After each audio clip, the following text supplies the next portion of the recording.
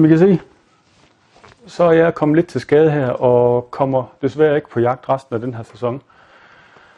Øhm, jeg har været ved at sætte øh, et par nye kikkerter på min, øh, både min 308, som jeg lige er færdig med her, og øh, på min 223. Og det er den samme, som jeg har også øh, på min 22 LR. 3-18 gange 50 fra Sidemark. Det er med belyst sigtes, øh, parallaksjustering på siden, first focal plane, Øh, den klikker i mil, og trådkorset er i mil. Fantastisk lækker kikkert. Og 3-18 gange forstørrelse. Jamen, det er bare en god all-round, øh, der kan bruges fra drivjagt øh, og så til langdistanceskydning. Øh, 18 gange forstørrelse, det sige, der klarer man altså det meste. Det kommer man langt med i hvert fald.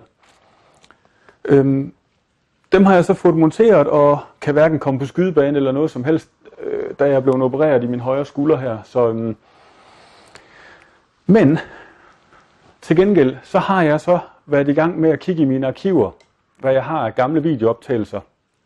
Øh, og der vil jeg simpelthen lave en lille video den her gang øh, med skudplacering.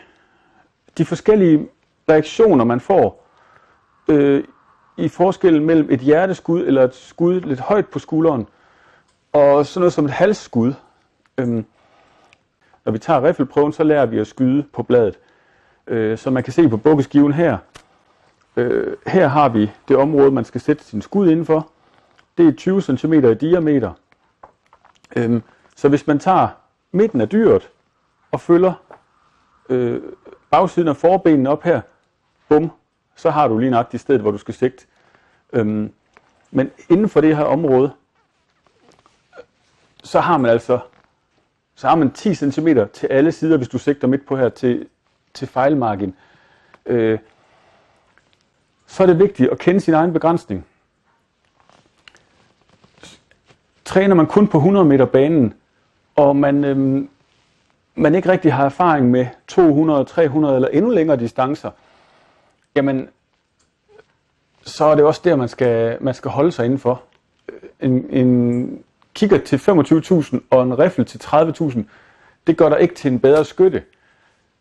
Det vigtigste det er at komme ud og skyde. Kom ud og træne på skydebanen. Træn forskellige skydestillinger, når du, når du ved, at dit grej det virker på 100 og 200 og 300 meter, eller hvad man nu har tænkt sig at skyde på. Og så begynde at træne nogle skydestillinger, øh, der er relevante, fordi liggende skydning med en bipod og en sandsæk bagpå eventuelt, det er rigtig, rigtig fint til at indskyde, når du skal justere din kikkert ind, og du skal, og, og for sjov, prøve at se, hvor små grupper, man, hvor præcis kan man skyde. Men det er meget sjældent, at man kan ligge ned og skyde på jagt. Øh, så træn en rigtig god øh, skydestok, så du kan træne skydende, stå, hvad det, skydende ståstilling, stående skydestilling. Det er altså det, det, det gør, at når du er på skydebanen, at du kan lige pludselig ikke skyde lige så små grupper, som du er vant til, men du får trænet, øh, sådan at du ved, hvad du kan ramme, du kender dine begrænsninger, når du er ude på jagt, det er altså i, efter min mening meget mere værd, end, end at du tænker, ah, at jeg er ikke så fantastisk god, så nu køber jeg noget meget dyrere grej, fordi så bliver jeg nok bedre. Øh, men øhm, lad os se på, hvad jeg har klippet sammen til jer.